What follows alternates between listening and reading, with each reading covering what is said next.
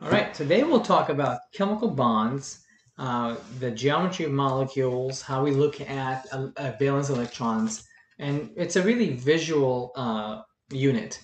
It describes how things get together and how electrons are uh, shared or moved from one atom to the next in order to create, um, well, molecules.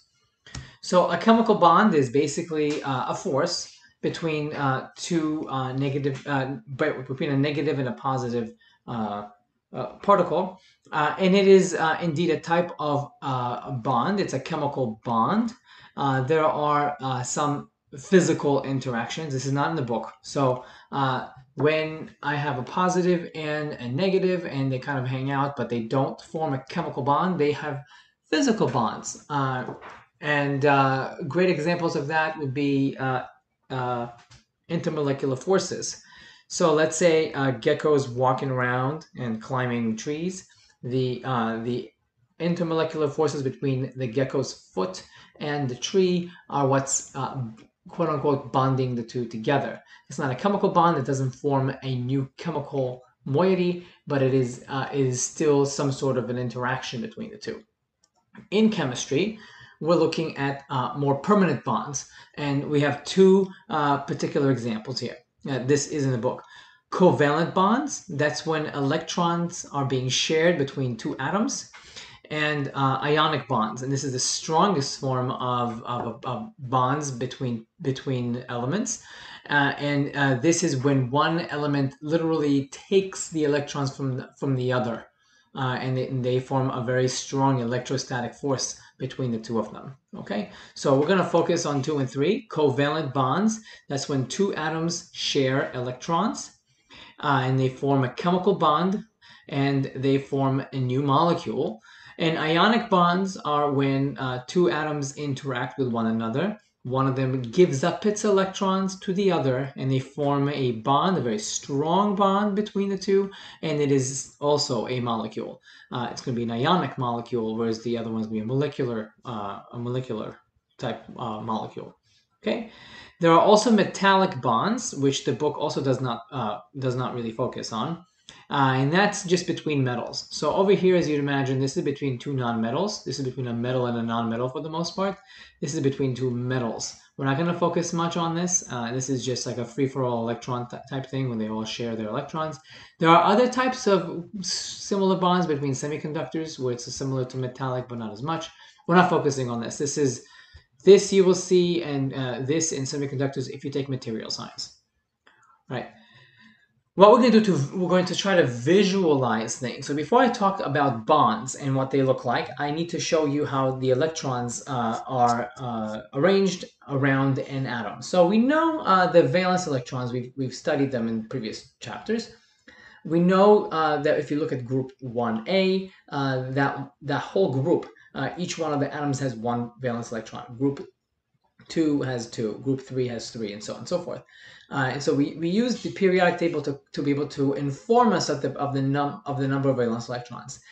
We can actually visualize this. What we're going to do is we're going to uh, put a dot for uh, each, each, each uh, valence electron that an atom has. So lithium is going to have one dot.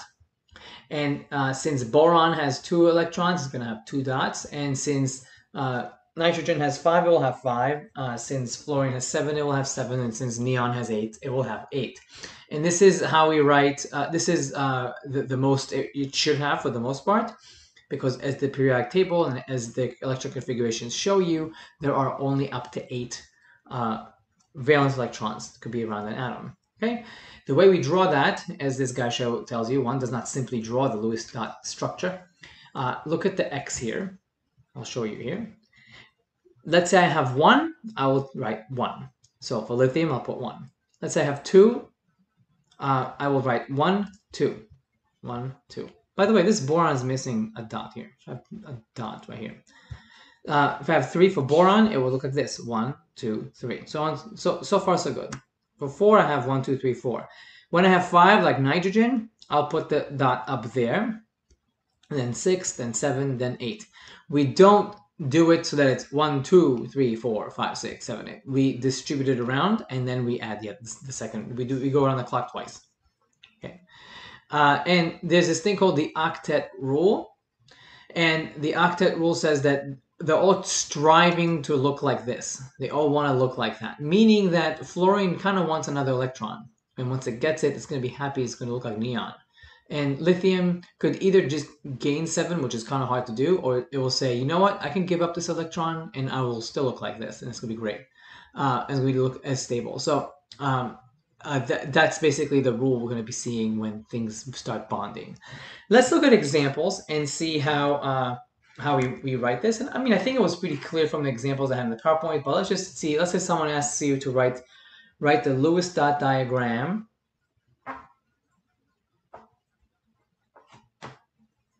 for, let's say, aluminum.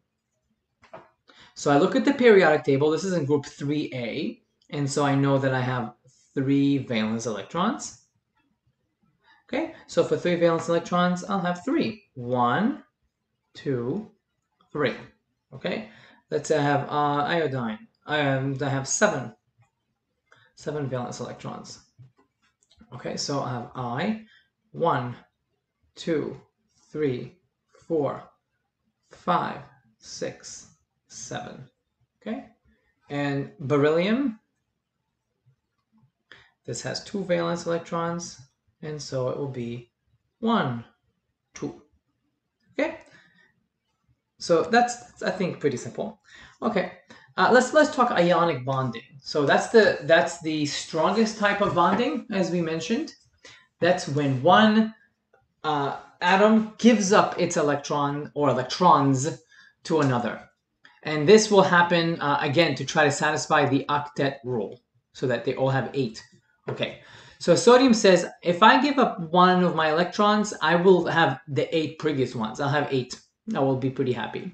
Chlorine says, man, I'm really jonesing for one more. So when they come and hang out together, uh, sodium says, just take mine, I don't need it.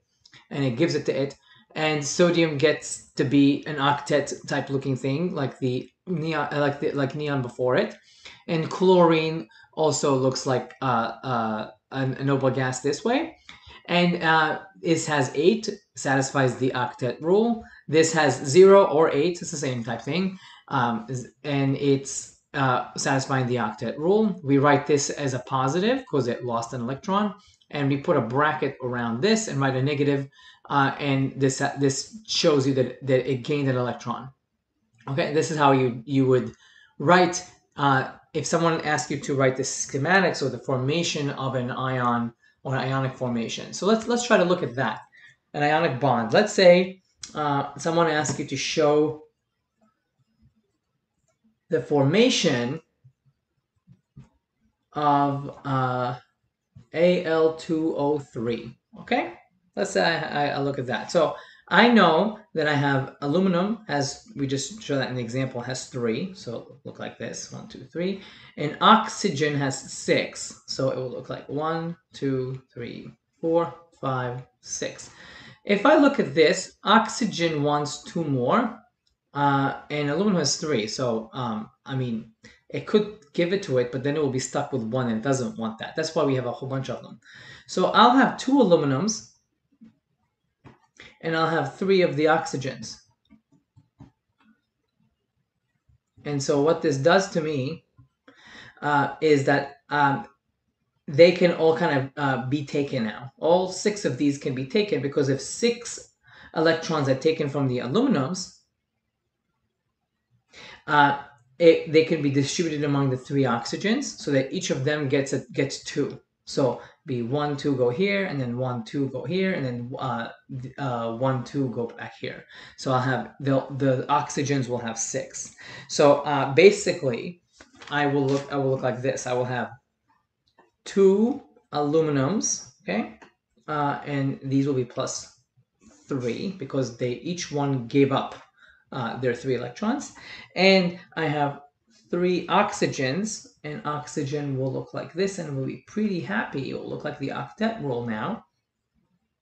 uh, and then this is negative 2. Okay, so this is important to show the 2 and the 3. And this is how you show the ionic formation for that.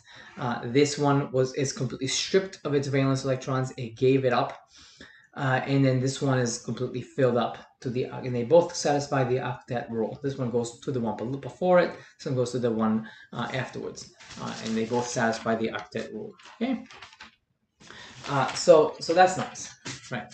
Let's go back here. Uh, so to, to draw Lewis diagram for ionic compounds, you draw the Lewis diagram for the individual elements, distribute the metals valence electrons to the nonmetals to follow the octet rule, and enclose nonmetals in square brackets and put the charge up. Uh, and, and that should be it, okay? Uh, and then uh, the, this is just another example of this. Uh, if you want to draw the Lewis dot diagram for K2O, uh, you draw the Lewis dot diagram for K and for O. O wants to have eight so uh, donate an electron from each of the K, Ks and enclose O in brackets and denote charges for all. So I have K dot, K dot, and then O6 dots. Okay, so each one of these will give up their electrons uh, like that. See, now they're happy they, they got taken away.